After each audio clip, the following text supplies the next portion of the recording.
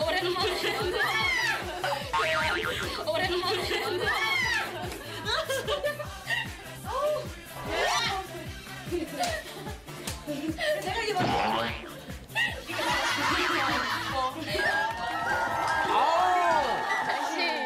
그녀라고 놀리지 말아요 너무 예쁘게 나왔어요. 다르면 잘 어울리겠다.